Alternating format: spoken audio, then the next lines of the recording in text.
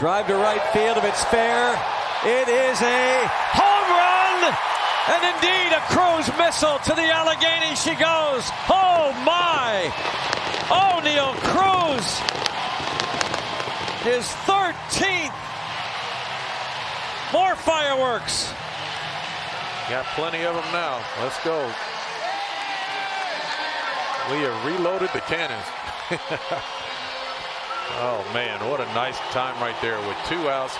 Give Joey Bart a ton load of credit for just that tough battle walk that he put together with two strikes. And Oneil Cruz just delivers exactly what this Pirates offense needed. Instant offense. Cut that deficit really quickly with that.